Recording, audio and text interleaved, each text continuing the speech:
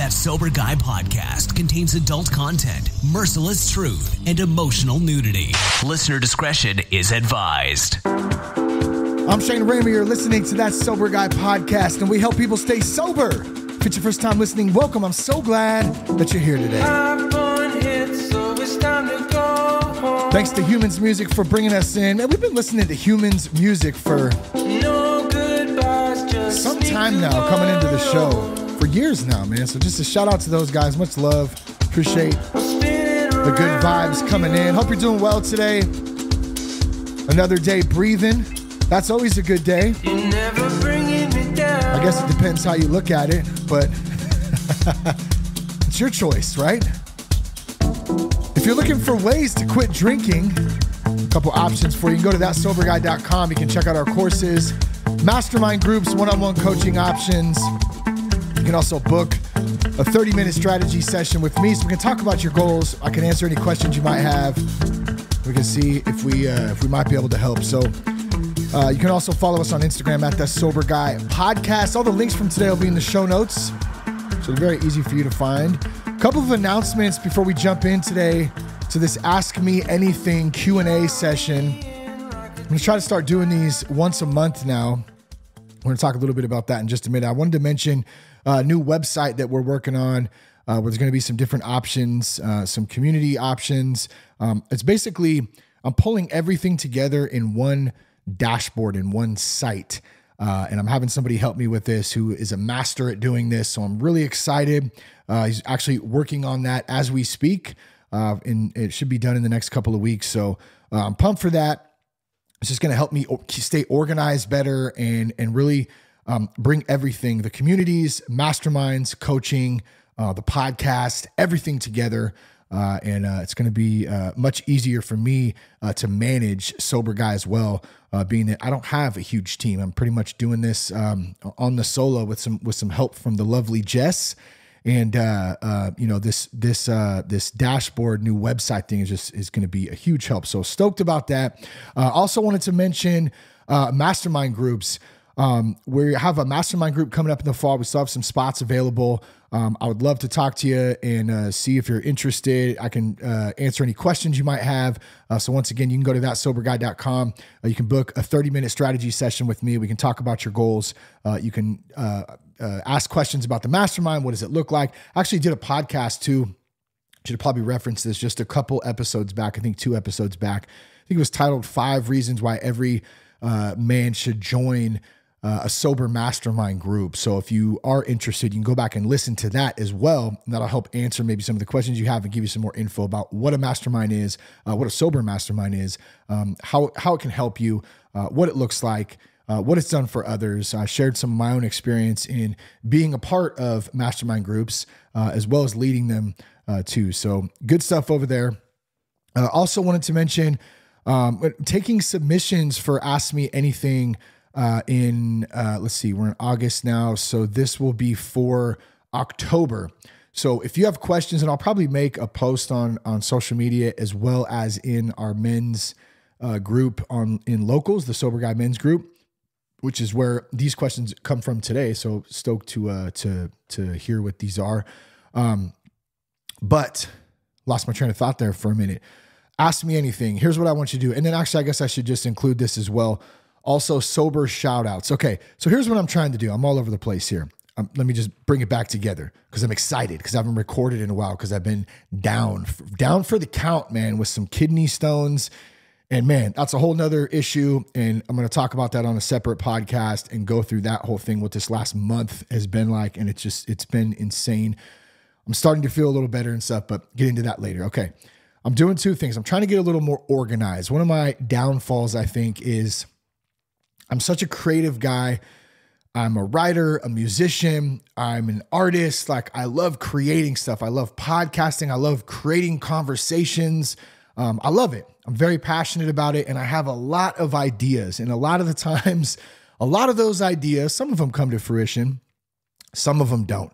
And I'm not the master. Um, I'm, I'm really good at creating, but I'm definitely not the master of um, staying organized. And uh, following through on things sometimes. Uh, that that's definitely one of the things that I struggle with. And so here's why I'm telling you this: what I'm trying to do is be a little bit more organized, create a little bit better of a system for sober guys. So there's two reasons why. Number one, obviously it helps you guys because we have a system and and a lot of people who are trying to make changes, live with purpose, be better dads, better husbands, better men, uh, and stay alcohol free. Man, we like we like routine, we like schedule, and I'm pretty good about it in my personal life, gym, you know, health stuff, work.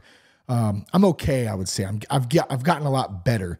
Uh, but as far as sober guy goes, with this whole rebranding of the website, really bringing in mastermind groups, coaching, community, really trying to build upon what we've been doing for the last 10 years uh, and and and just really continue to grow i have to be better organized i have to have better processes and hopefully eventually um, i will have a couple people on a team who are kind of helping me do this stuff but uh, for now uh, this brings me back to ask me anything and sober shoutouts on the first episode of each month. I'm going to do sober shoutouts. So if you have your a sobriety date you're coming up on, please share it with me. Um, and I'll tell you how you can do that in just a second because it's the same as the ask me anything. If you have questions and you want uh, some advice or you want some experience at maybe how I might see something, or maybe I've talked to somebody that you have a question for or about maybe a, a, prior podcast, whatever it is. Maybe you have a question for Jess from a wife's perspective. I can pass that on to her too. She's going to be coming on the podcast uh, occasionally, actually here pretty soon. And uh, so we can take those questions as well. Here's what I want you to do email sobriety at that soberguy.com. And then in the uh, in the subject line, just put ask me anything if that's your question. If you have a question for the show, uh, and then we'll read those on on the last episode of each month. Or if you have a sober shout out, you're coming up, you want to celebrate your date, um, we'll do those at the beginning of the month. Just write sober shout outs in the subject line, and then tell me a little bit about uh, about what you're celebrating, and how long, um, a, a, little brief description of yourself, uh, how the show's helped you, whatever whatever you want to do uh, is fine. So I appreciate you guys doing that.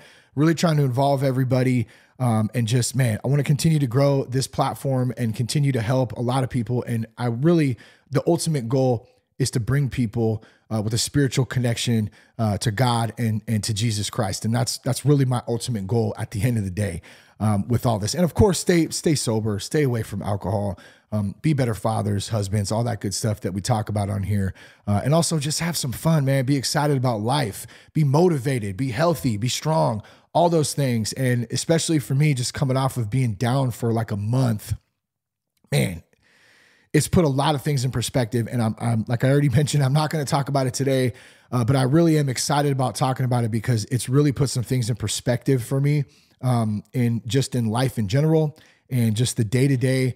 Uh, the day to day grind, and then also the importance of taking care of ourselves and being healthy and really um, you know, really being at the top, our, our the top of our game, I guess, to the best of our ability as we continue to age, as life continues to change, as life continues to throw curveballs at us too. Man, that's you know that's a that's a tough one too. We we we have things that come up sometimes. We just go, man, I don't. How are we going to do this? How how am I going to do that? You know, and so being strong mentally, physically, spiritually, emotionally, all those things is so so important and that's one of the one of the reasons that I continue to um, you know to uh, to do sober guy and, and continue to uh, try to grow the platform and connect with all of you out there. So I appreciate you guys. Um, anything else here? Let's see. Uh, I already said the email. Well, yeah. So I guess before we get into this, ask me anything. I just want to give some love to our guys for sending these questions out. Um, from our locals men's group. If you're interested in that too, you can go on the website, that's soberguy.com. Uh, and you can find on there, I think it is the Connect tab or re- Resources tab. I think. Oh, excuse me. Um, you can go on there and find the Sober Guy Men's Group on the Locals platform and check that out if you're interested in joining. Okay, so big breath. Let's take a little sip of water here. A little sip.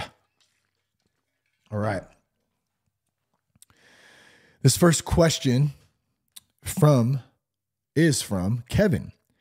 And uh, Kevin, thanks for uh, the couple of questions. What do you have? One, two, three. Love it. Three questions today from Kevin. So the first one, and guys, just so you know, I did take some bullet points uh, just to kind of help, you know, help with responses and thoughts that I was having as I was kind of reading through these. But I really, my love is just to kind of be very authentic and just kind of answer them as, you know, like without a lot of detail in them. So I'm going to do my best to do that.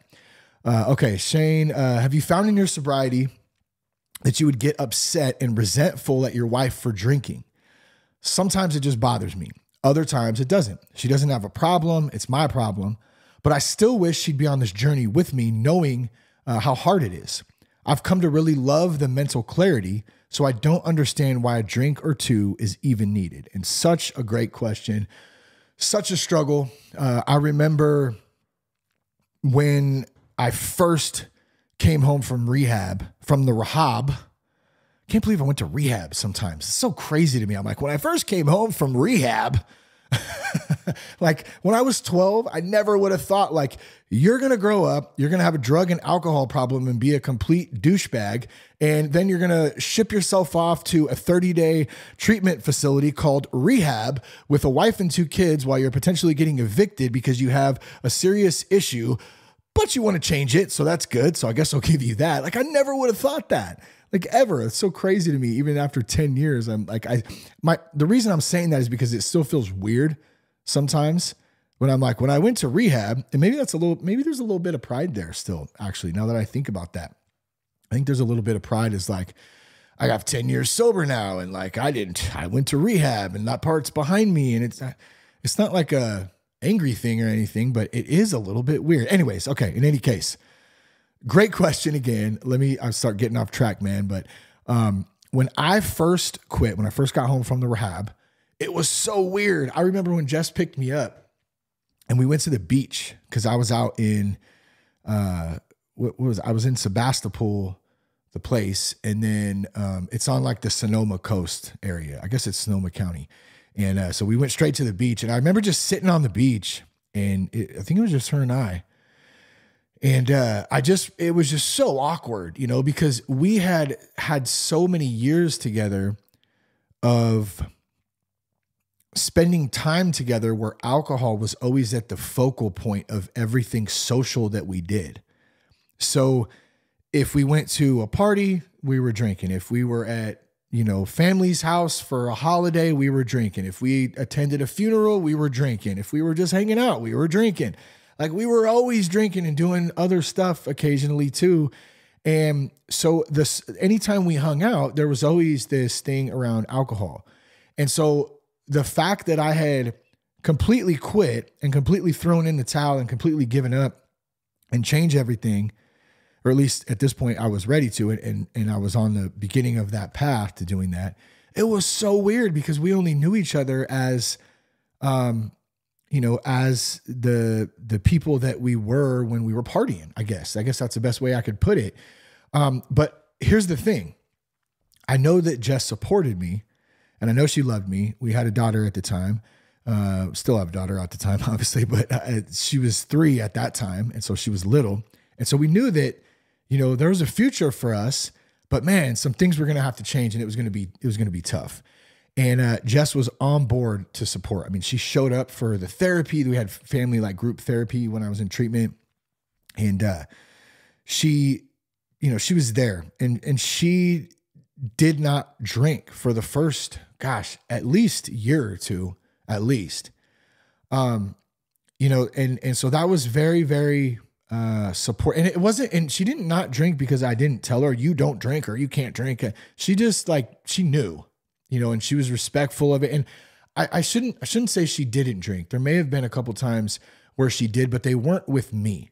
So there, there may have been a couple times later on down the road, uh, you know, six, you know, 12, a, um, a year in where she went out maybe one time with her girls and had some drinks or whatever. And I do remember that was the case because I remember her, she didn't drink for a while at first. And I remember her coming home and going, God, why did I even do that? Like that, why did I even have a couple of drinks? I just feel like crap afterwards. Like there's no point. So, you know, th- there was that kind of um, limited, the, the limited drinking where she didn't have an issue. Okay. So there was that part. As times passed, you know, she'll still occasionally have a glass of wine. It doesn't bother me. I'm not, it's not like a, it's not a party thing. It's a little different. Um, but I can understand how sometimes it would. Um, it would bother somebody because I think it depends on the situation. I think it depends what you're doing, where you're at, what's your intention, you know, why are you there? And we have to remember that, and you, you said this, Kevin, too, like it's it's your problem. It's not her problem, it's your problem, right? So we have to keep that in mind. Now, if it comes to a point where it's starting to be obnoxious and it's starting to be habitual and like there's an issue there, that's one thing. That's totally different. It doesn't sound like that in this case. So I think that I think that we just have to let our spouses do what they're going to do. And I think we have to be comfortable where we're at and know that we're okay with ourselves and our own skin and our own social setting, which can be difficult sometimes. Trust me, I've been to plenty of weddings and birthdays and family get togethers and all the things where people are drinking and I'm one of the only ones who's not, or the only one who's not. And it can, even after 10 years, you, you feel a little bit. I mean, there's let's just say you just feel a little bit awkward sometimes, like no matter what, no matter how comfortable you are, there's always might be that little bit. I can say it gets a hell of a lot better as time goes on. Um, for me, I, it's more or less I just get tired and I just don't I don't I'm not a late night dude anymore. I mean, I'm an early morning dude. I love like what used to be for me partying late at night, or I mean the party didn't start till nine or 10 o'clock and then you were up all night. That sounds absolutely horrendous to me at any time. Like anything past 10, I'm like an 80 year old man. I'm like, oh God, good Lord. I should have taken a nap today. I need a nap. I need to go to bed. This is lame. Look at all these idiots drunk and dancing and puking. That's not fun to me anymore.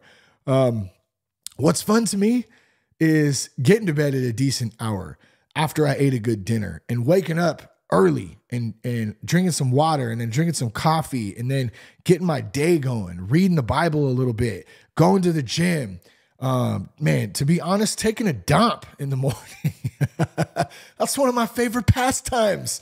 That's one of the manliest pastimes there is. First thing in the morning, some coffee and some dumpage. It's a heck of a way to start the day. All right. It's probably too much info, but I'm just, that's just what it is. That, and I'm excited to wake up and see what God has for the day for me, for my family, like what's next. And a lot of it's routine. It's a lot of the same stuff, you know, a lot of the time.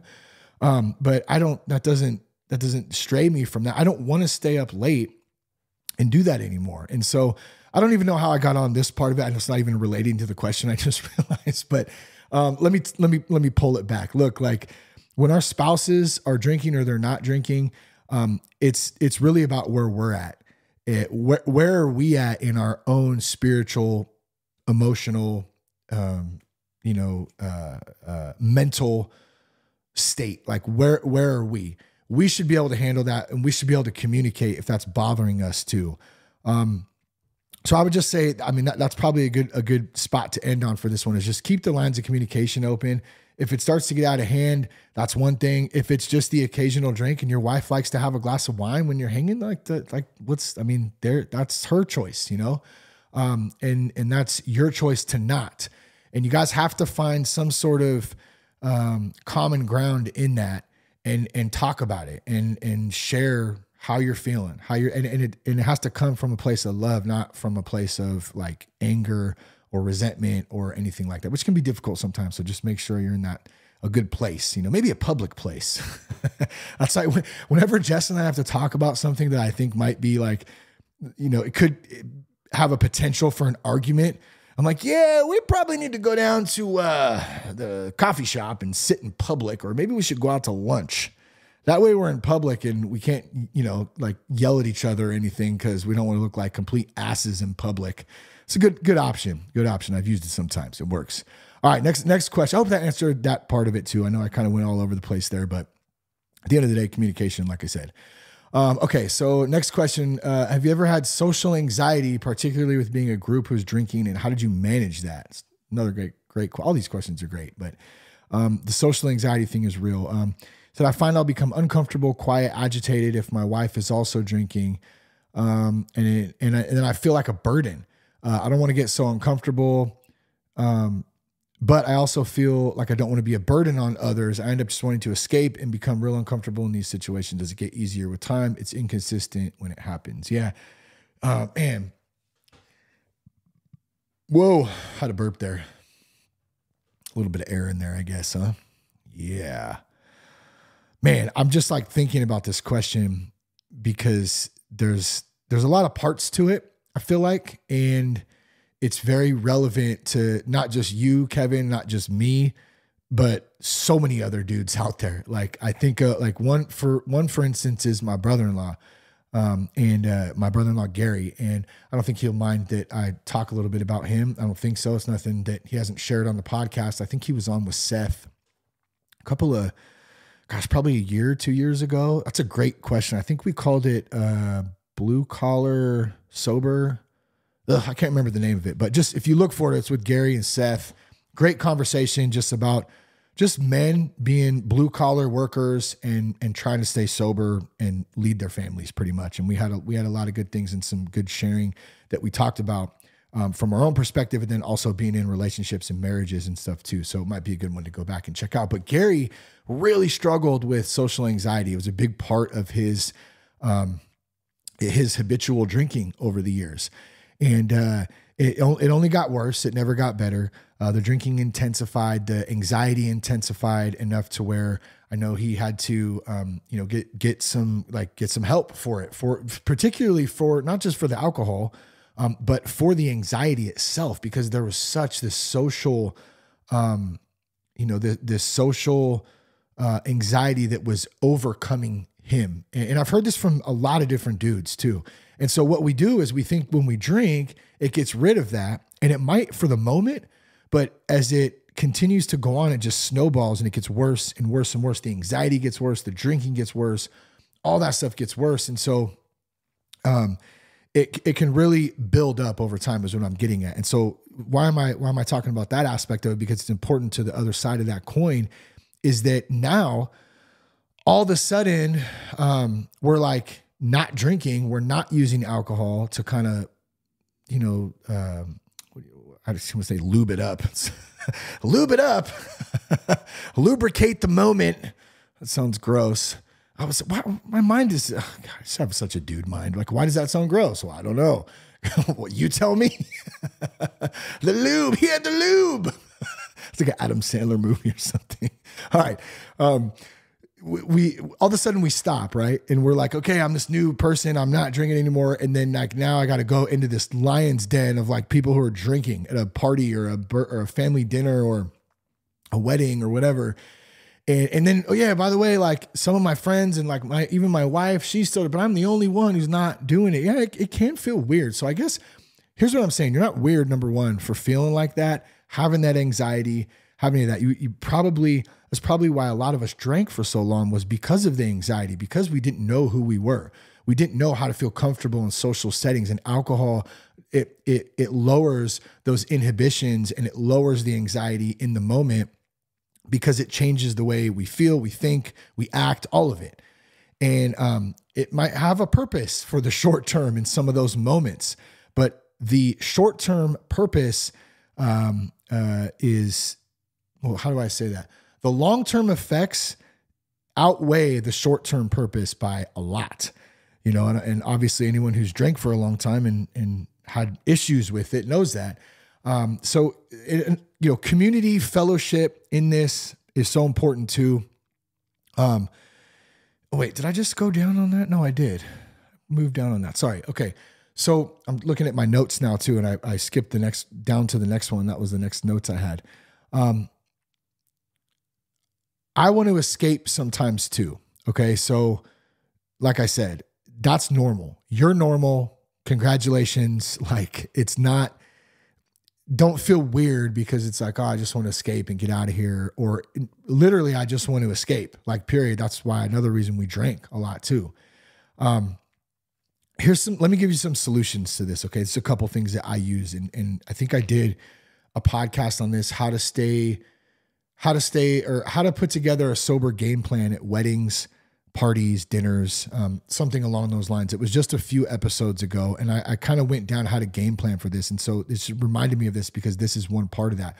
One of the solutions for these moments when you are at a party or you're with a group or you're out to dinner or something and I've talked about this before. I always feel like I am a broken record, but I do realize that this may be the first time somebody's hearing this today. One solution is to have non alcoholic drinks of your own. Okay. I've found even like having something in my hand, something that I am, I, I, just feel like I'm partaking in the social aspect of things. It's not about the alcohol, it's about the ritual of having a drink in a sense, the routine of having something in my hand, something I'm kind of sipping on or having a snack, maybe some peanuts or something with the, you know, with the club soda and cranberry or with even if it's a cup of coffee or something. If you're if even if it's an NA drink, maybe you like athletic brewing or something and you want to try one of those in in the situation if that's your thing. If it's a trigger for you, the NA stuff, I know people have different takes on that.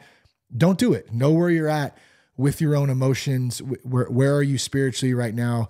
That's a good way to tell like what works and what doesn't work. But I really like the idea of when you go out, pre-game planning. If you're going to dinner, every pretty much every restaurant has their menu online. Go online and check and see what kind of NA drinks they have so you can set yourself up. If you're going to a wedding, you know, they're probably going to have Coke, water, coffee, they may even have NA beer. Who knows? Try to find that out beforehand. And if you have to, bring your own. It's okay.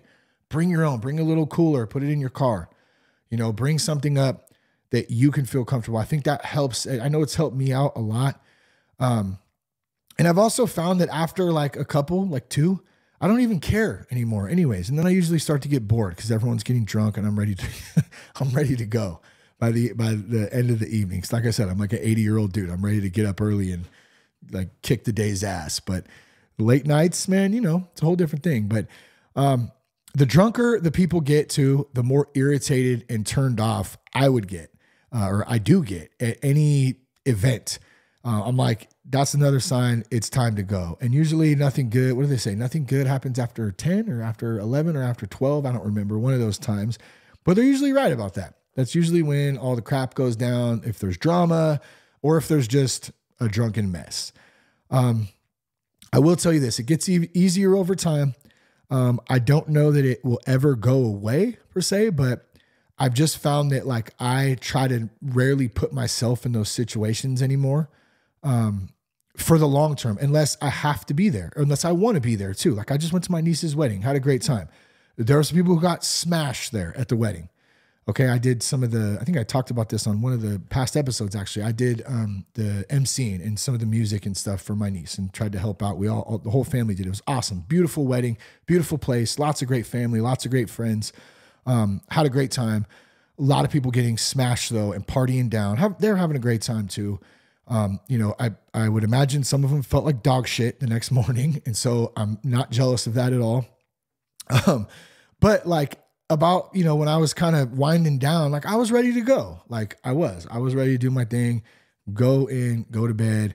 Um, and it's it was I had a good time, but you know I'm not on that level like I used to be. Um, and so and my point to that was I had an intention, um, my like or I had what's the word? Not intentions. I had a reason to be there. I had a reason to be at the wedding to support my niece and her husband and um, our family. Like I wanted to be there for that. I wanted to be there for them. I wanted to help out. And I was be I was at one other thing too. Should add this before we move on. And this is in the list of game planning as well. Is find something you can help with. Be of service. Not only are you being of service and you're helping somebody out, which is amazing. I'm sure they're going to appreciate that. It also kind of helps to take your mind off of you and get out of your own damn head, which happens sometimes. And that's why a lot of people drink because we're stuck up in our head so much. We got so much stuff going on. Me, me, me, me, me, me, me, me, me, me. It's like, nah, it's not really about you. It's not really about me.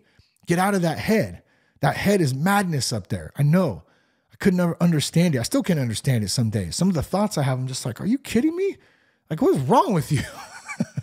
and I, have gotten a lot better on checking myself and going, God, I, I'm sorry, but it's a thought there's a difference between a thought and acting on a thought or you know that, that's there's certain things we can't control. We have to be able to recognize that too but what's your intention and do you have to be there? Those are two good answers. And then you know back to the wife too you know just man that's that's her choice if she wants to do that or not you know and you guys got to communicate about that. Back to the first question. Okay last one from kevin here Um, I've held off on going to AA probably because I struggle talking about myself unless it's on a platform like this. Okay, so you like the digital platform where it's more like a group, like we have the Sober Guy Locals group, or there's different Facebook groups or um, more tight knit digital groups. Good to know.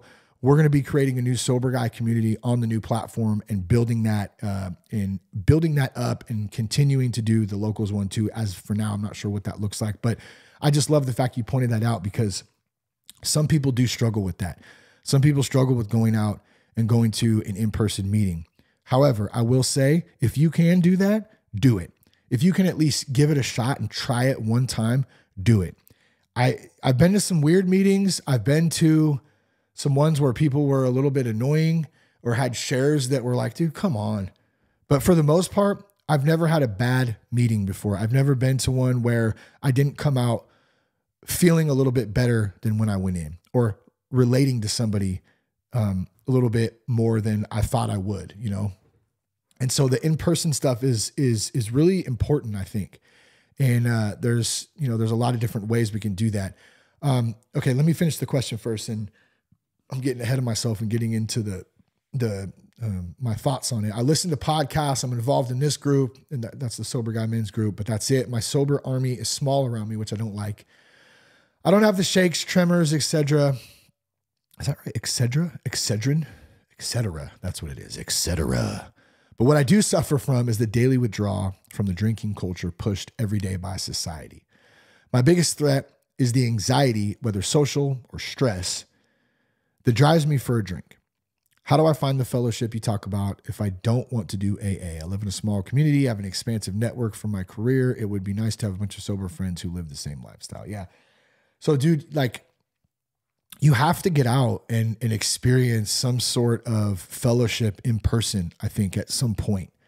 You really do. I, I, I love the fact that, you know, we have the the sober guy men's group on locals. I love the fact that there's podcasts and there's all kinds of other groups and communities and stuff out there that there's online meetings as well. I think you can find some of those on the website.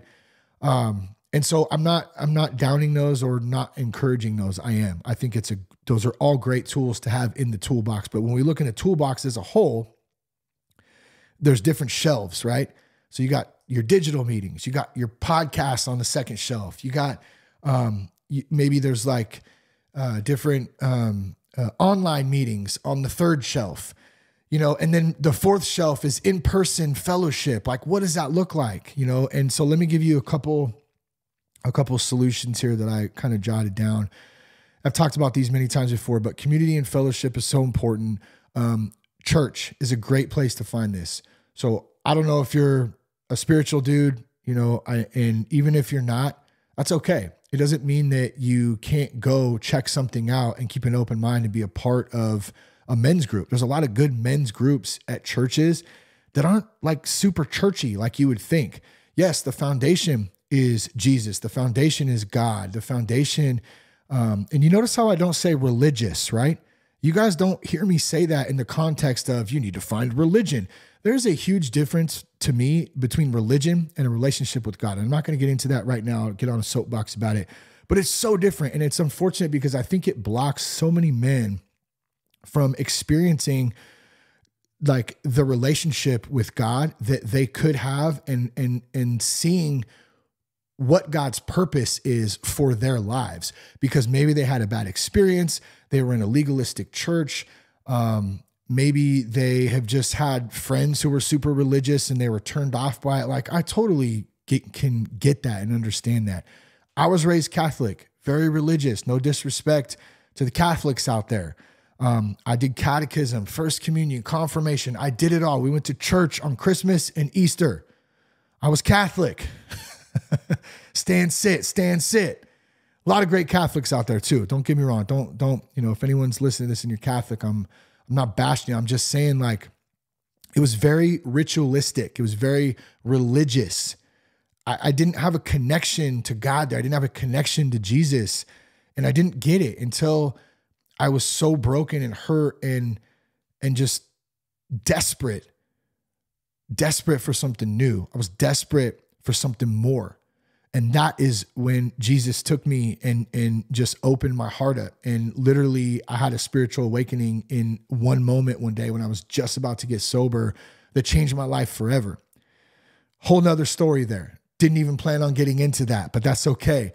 My point is, there's a ton of men's groups out there that there are some solid, great dudes in the church. So maybe you have a church in your community try one. If it sucks, fine, try another one. If that one sucks, try another one. You got to try stuff sometimes and and just put yourself out there. You know, just put yourself out there, man. I promise when you do that, I have three words I love. Just show up. I've used that for a long time. Just show up. And the caveat to that is just show up and God will do the rest. I promise you, if you open yourself up, people, and you be like, holy crap, I just met three new friends. Man, dude's cool. He's got a lot of shit in common that I do. Like, wow. We like to smoke cigar. I, I went one of my favorite men's groups. I only got to go to a couple of them. So always so busy with the with the kids' sports and stuff on Saturdays. But my buddy Ian, he did a uh, a men's bonfire group. It was once a month, I think, the first Saturday or second Saturday.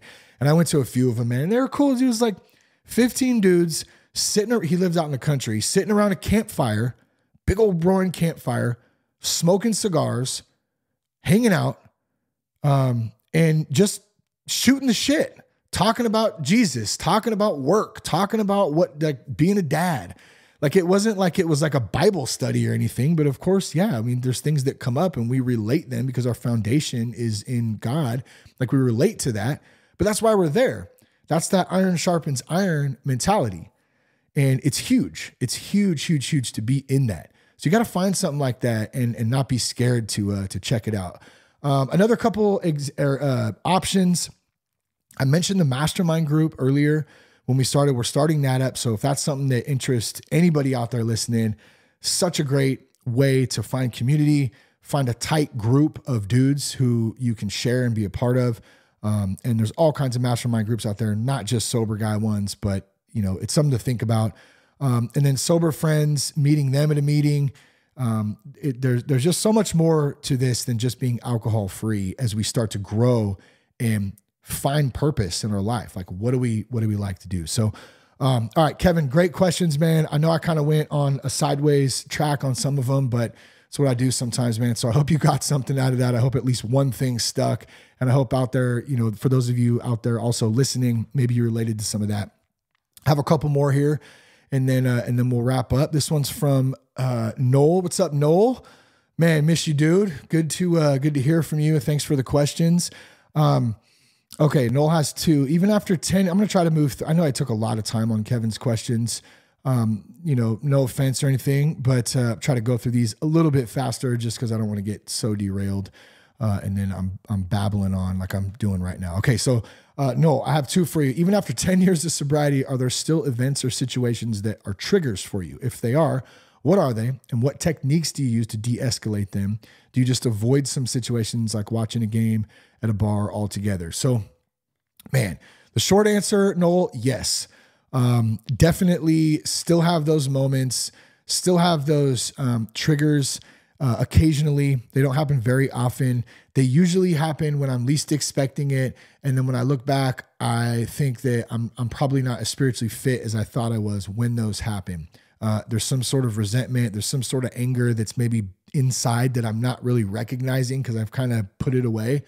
I just think back to a couple of those moments when that's happened. Um, one, one in particular I can think of that just came to mind. We were we had just let's see we had just moved back or just moved back into the new yeah we just moved we just moved into the new house in vacaville. This was a couple years ago. And um, there was an event a first responders event that some friends invited us to in dixon. And uh, it was hosted by like the you know like the city and the there was a bunch of cops there and um it, i mean a bunch of families and stuff too. There was like a a uh, a raffle where you try to they sell cakes and shit and like like some dude buying like a cake for six hundred dollars. it's like raffling it. Off. It was fun, but kind of because I had a moment in there, and this is why I'm telling this. Like there was a shitload of beer in there, a lot of beer. There was a lot of drinking going on at this. And it was kind of ironic, man. Now that I think about it, there it was like for first responders and like suicide prevention and like depression. And it was a great event. I know they were trying to raise money, but it was just so strange because there was so much alcohol at the event. And and I get that, you know, that's what makes money, but like you're making money off of the you're making money off of the the cause and the reason that you're there in the first place, which kind of didn't sit right with me, and it still kind of doesn't now that I think about it. Uh, but I mean, great people, like 100%, love all the people there. But okay, anyway, so we're pulling up, and, and a friend of ours um, bought a table there, and she invited, you know, a couple of us families or whatever.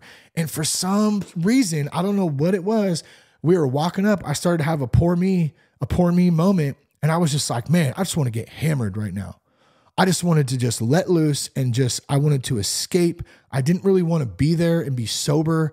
And I just like, it, it was so weird.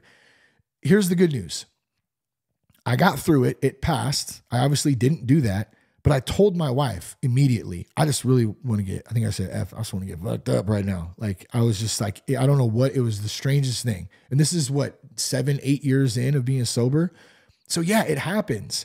And it was kind of a strange setting the rest of the night. I just didn't feel 100% like myself. I think I still did a good job. We had a good time for the most part, but I think I remember being ready to go not too long after, you know, we ate and stuff. And um, so yeah, man, it definitely happens. And so I think like solution wise, like what do you do? Do you just avoid situations? Like, yeah, sometimes it goes back to what I was saying about Kevin's question too, Noel. Like, um, what's your intention? Am I supposed to be there? Like, am, am like, why am I here? Do I have a good reason to be here? Um, I was there to support, you know, our fam, our friends and first responders. So yeah, I, I felt like I did have a reason to be there.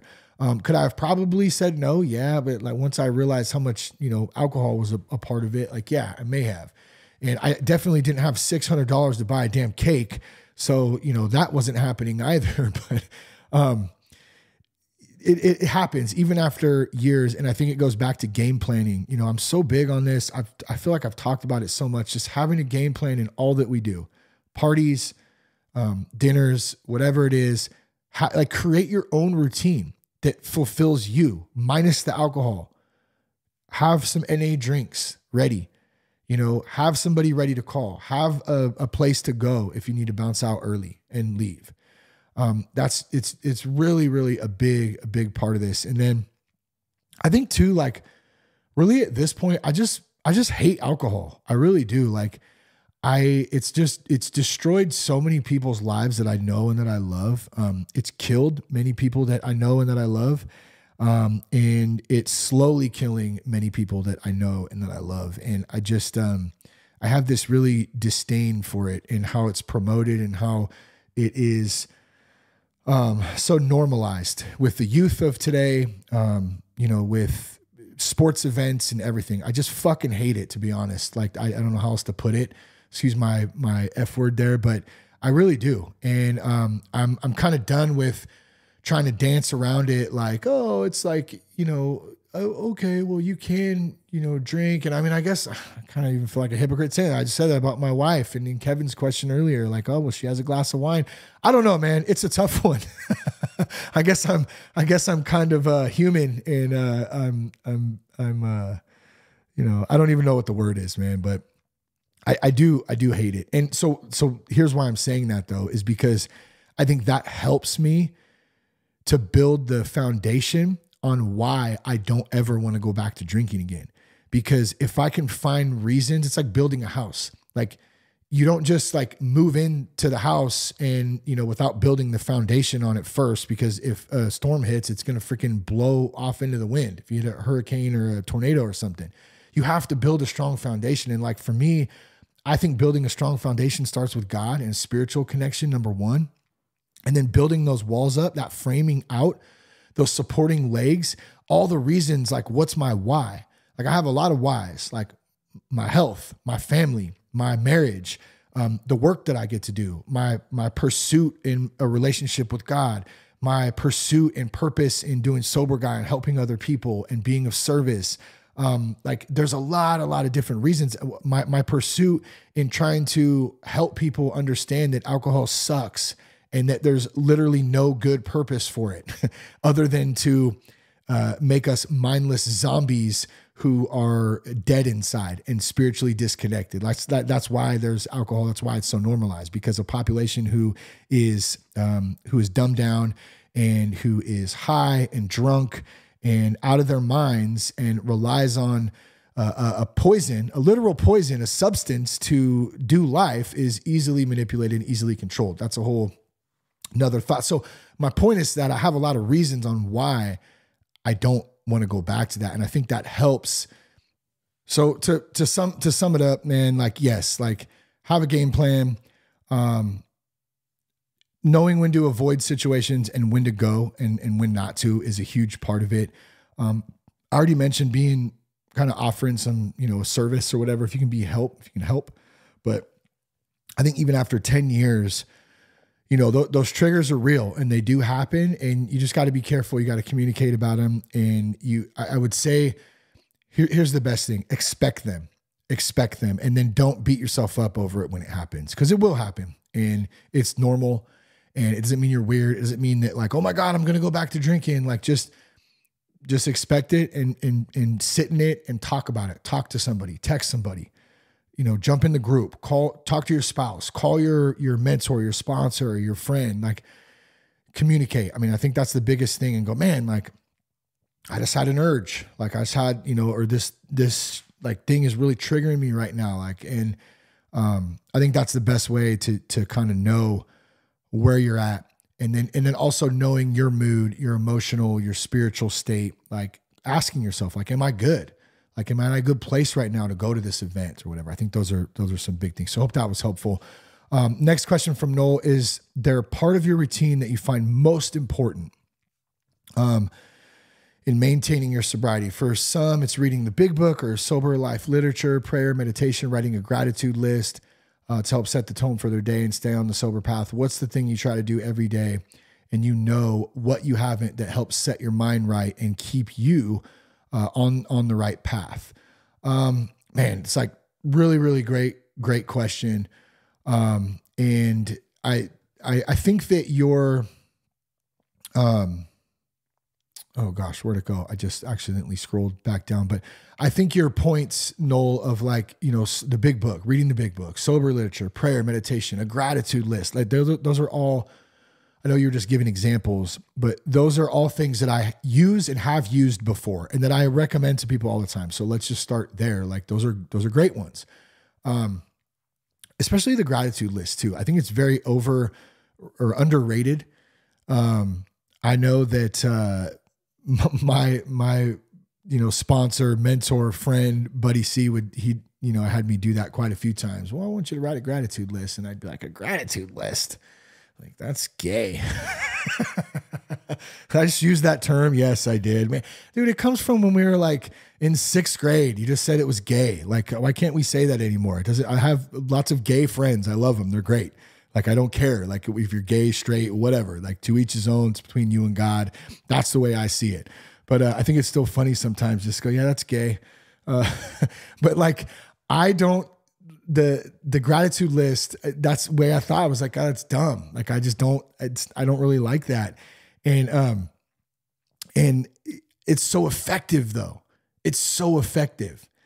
Like it's it's the like it's such a great and it's easy. It can take five minutes. And you just write five minutes now you know like okay here's you know five things i'm grateful for today or 10 things that i'm grateful for right now in this moment because it's real easy to find the things that you're not grateful for. That's easy. So gratitude list, I just wanted to kind of say like that. It's a really good one right there.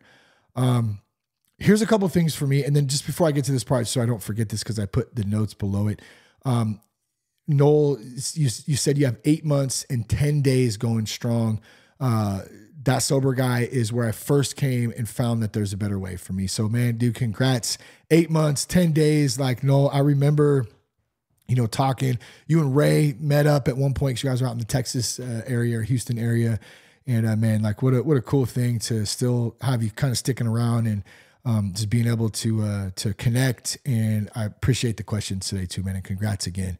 Um, so a couple other things for me that's important in in maintaining routine.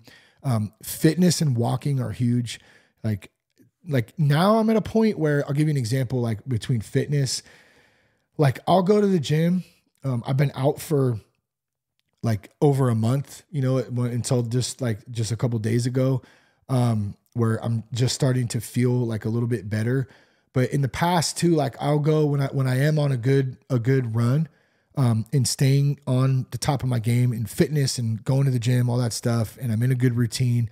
Like it feels odd to not do a hard workout. Put it that way. Like you know how it is. Like when you go and you're like, oh, I don't want to go to the gym you know, and like you've heard that saying, like the hardest machine at the gym is the front door. Like it's true.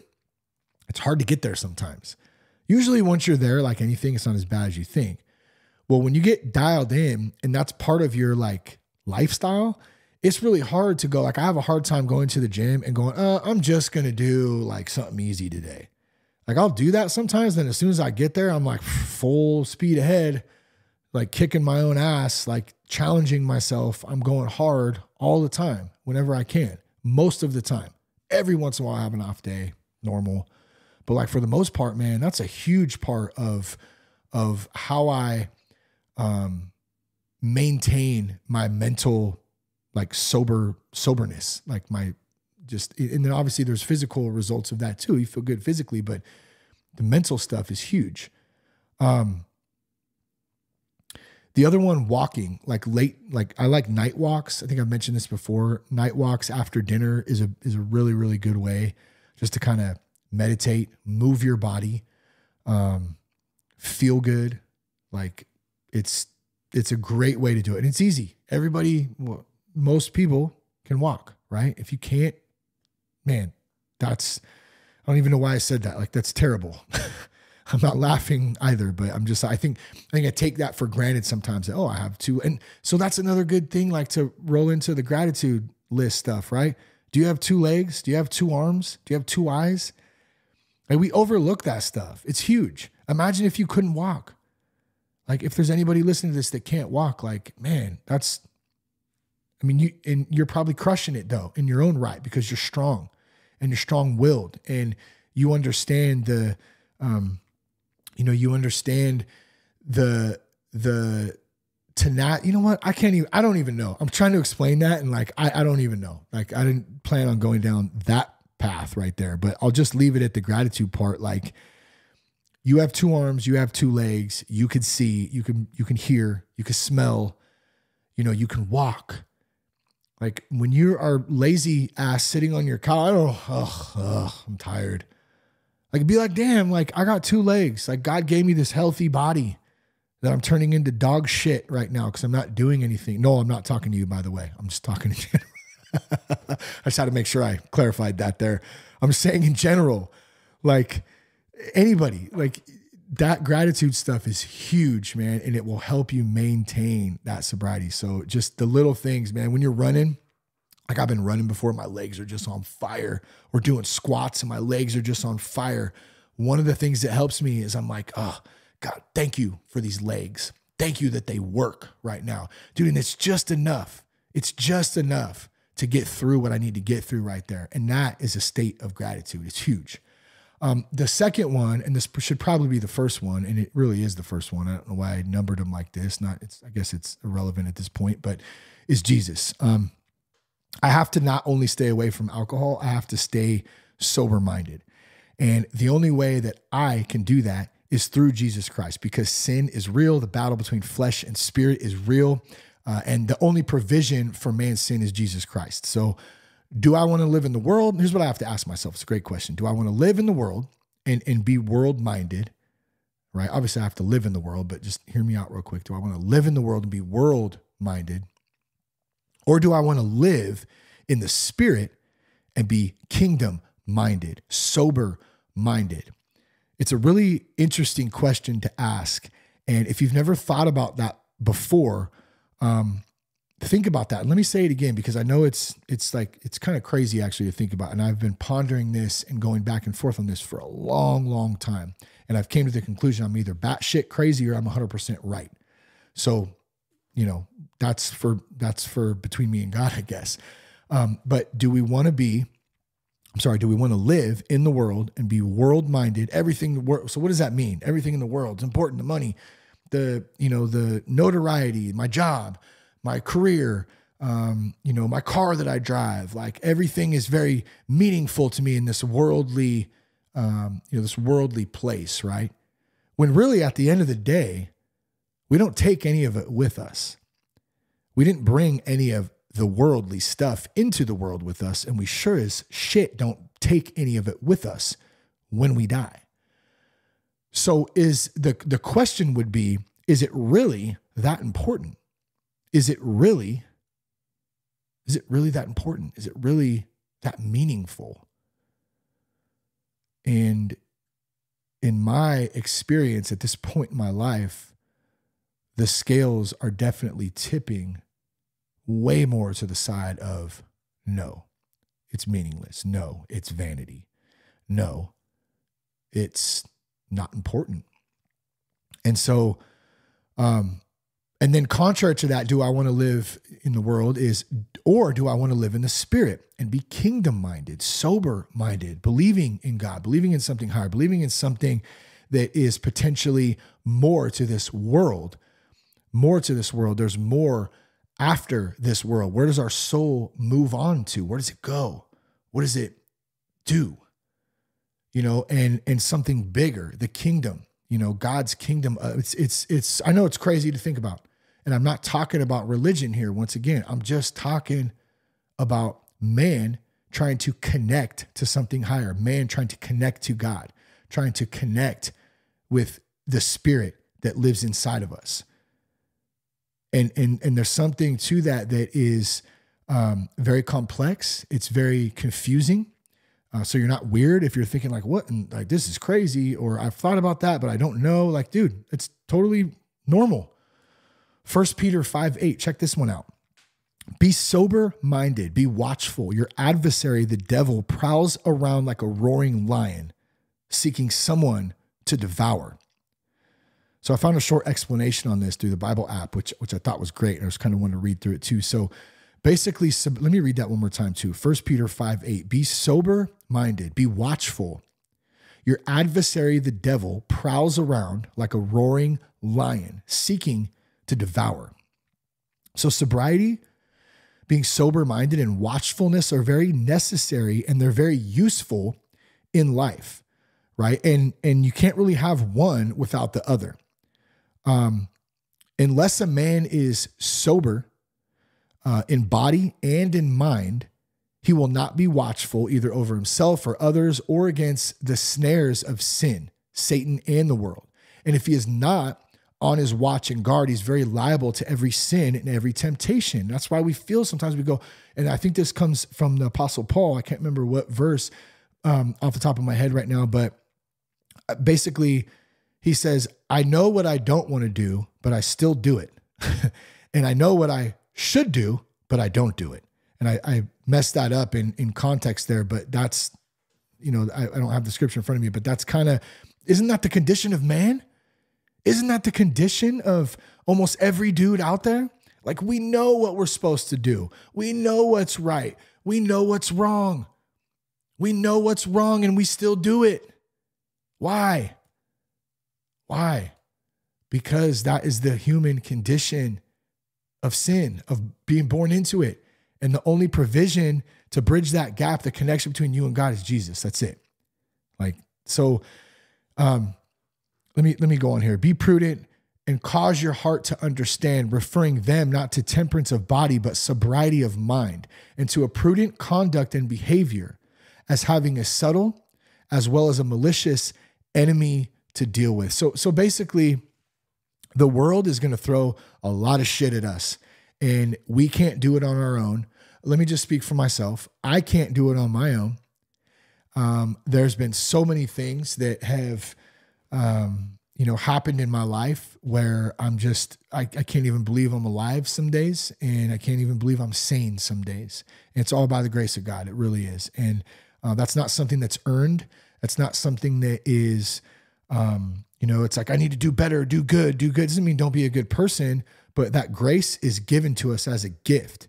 And until we accept that and we surrender to it and submit to it, and it's an ongoing process, it doesn't, it doesn't just, um, you know, it, it doesn't just come easy to us. We still have to deal with the day to day grind. And I hear it a lot die daily. You hear that? Like, man, we got to live in this world, but we're not of this world, is what I'm what I'm saying. Okay, another one I wanted to share too, Romans 12. And if you if you don't read the Bible, um, man, Romans is a great a great book. Romans 12 in particular. My my sponsor and friend and mentor buddy would have me read Romans 12 a lot. Just and it's short. Another one is Ecclesiastes as well. It's another another great one. Um, when I first got sober, someone had suggested, "Man, you need to read Ecclesiastes." It was like the first book that I really actually sat down and read in the Bible because it's geared towards men. It was written by Solomon, the smartest man in the entire universe. Um, so it's it's very interesting, and it talks a lot about the vanity, the meaningless, and you'll hear some of those terms that I mentioned earlier. That's where that comes from. Uh, but Romans 12, do not conform to the pattern of this world, but be transformed by the renewing of your mind. Then you will be able to test and approve what God's will is, His good, pleasing, and perfect will. So do not conform to the patterns of this world, but be transformed by the renewing of your mind. So I'll just say I'm constantly in process of this. It's something I think about every single day. It's something that I um, am. I, I strive for excellence, not perfection. It doesn't mean that I have, um, you know, an, an ability to just do whatever I want at the same time and just think it's okay. I'm very conscious of behaviors and thoughts and actions and all of that stuff, but it doesn't mean I'm perfect. And the older I get, the more I realize that, um, as it says in Romans 12, conforming to the patterns of the world is empty. Um, and a lot of the things, if we tie this back into alcohol, if you think about the drinking, that's a way to stay disconnected from reality. It's a way to stay in um, a really small, tight bubble of the world itself. And that's not a great place to be um, I, I, really do feel like it robs the spirit and the connection of of God. And so um, I was, I mean, I'm, I can not believe this has already gone over an hour. I was not planning on that at all, but I want to finish this. We got one more question from Roscoe. Um, a couple things. I'm, I'm, I'm not going to go over. I was going to go over the the four spiritual laws, but we'll do that in another uh, another episode. Maybe I'll just focus on that.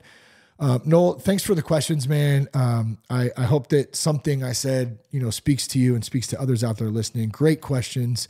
Um, and uh, re- really good to connect. And then last question from Roscoe, man. Appreciate you, Roscoe. I know you've been following the show and been part of the group for a while now, and uh, really just thank you, man, for taking the time to uh, to throw throw a question or two out there.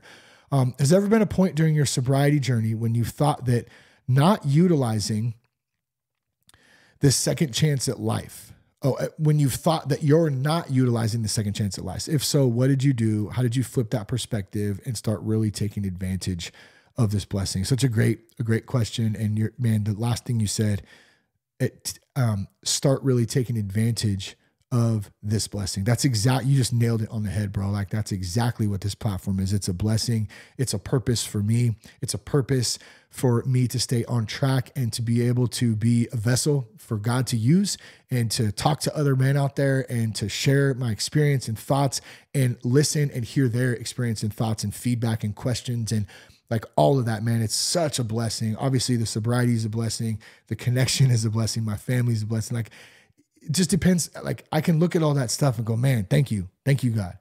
Even on the worst day, and some sometimes like this whole kidney stone thing. Oh man, there were some bad days in that. There were some bad days. And I'm I'm still kind of coming off of the tail end of this and trying to. I have a doctor's appointment coming up uh, just in a couple days actually to kind of figure out the next steps, and I got to get back to work full time. And man, it's been brutal.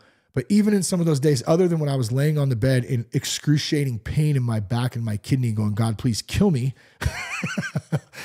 I'm not even joking. I'm literally not joking. I was literally like, I just, just kill me. This is just terrible, right? That's how bad it hurt. Um, and, but you know, beyond that, we have those moments, right? But gosh, what a blessing it is. And um, that's why this new perspective, you know, I was talking about in the beginning of the podcast is big too. Cause it's like, man, that, that puts a lot when you, when your health is jacked up and you think you're dying it puts a lot of stuff in perspective and you get to see, uh, see certain things as you should see them as blessings. And that's good. Uh, so you, you also said, take care and keep up the awesome work. Um, a longtime supporter, I know, man. I, I appreciate you again. So, what point in your sobriety when you thought you know, when you realize you're not utilizing the second plant. And I, have definitely gotten bored before, man. I really have. Um, I always go back to my purpose though, and I feel like in my heart, like my purpose is to serve God. My purpose is to serve my family. That means be a great dad, be a great husband, be a great son, um, be a great man. You know, the best of my ability. Like I said, doesn't mean perfection, but I strive for excellence, man. I want to be the best I can in all aspects. And, you know, I struggle sometimes at certain points, like everybody else. Um, I also want to serve those who are looking to find their own purpose and I, you know, who who want to cut alcohol out of their lives because it's such a it's it's such a um oh gosh, it's such it, it just it just prohibits people from taking that next point in their life and it actually stops them in their tracks. That's why you hear people say, oh man, he's like, he's stuck at like 16 or 17 because that's when he started drinking and he's never grown up from that. Like it literally stunts your growth, is what I'm saying. So, and there, there's, you know, there's people who come to their senses at some point in life and have a spiritual awakening, making maybe, and they just go, man, I just don't want this anymore. I, I can't do this. Um, I also, tend to complicate things. And in the first few years of my own sobriety, I really complicated the crap out of things and I set many expectations. So, to answer your question, you know, about not utilizing, um, I think I got lazy and I got bored sometimes and um, got complacent at times because I set these like high expectations for what I was going to do or what I wanted to do.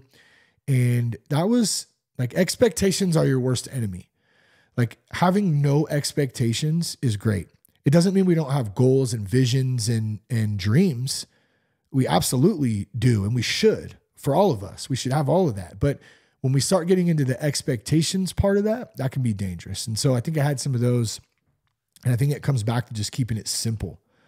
Keeping it simple.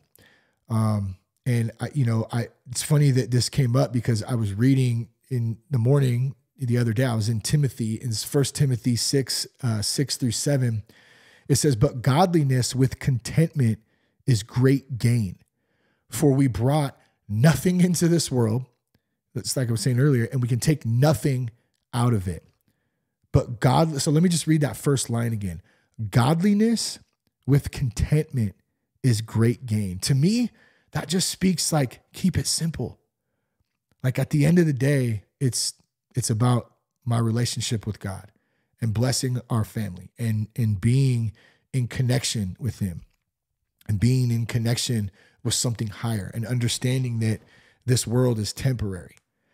That is that is the great gain and that is keeping it simple that's keeping it so simple. And, and I think that when we can do that and we can be content right where we're at, doesn't mean we're not going to have struggles and problems sometimes. Man, we are.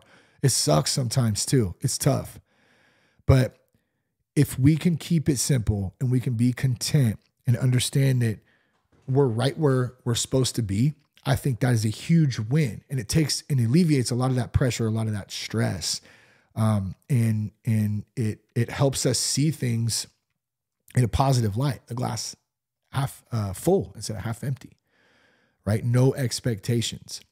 All right. Um, and then one more I want to show, and we're going to wrap up Ecclesiastes 4 4. Like I mentioned too, you know, and I should, I should probably say this there's a great book. It's called Every Man's Bible. I've given it to a few of my friends, um, you know, and I just, it's one of those things that is just really had a pretty big impact on me and it's it's geared towards men and it breaks down a lot of different things. So i think you can find it on amazon. I definitely recommend that every man's bible um, if if that's something that interests you. But ecclesiastes 4 4 and i saw that all toil and all achievement spring from one person's envy of another.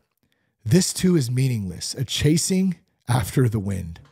Man you hear that a lot in ecclesiastes. Meaningless a chasing after the wind vanity.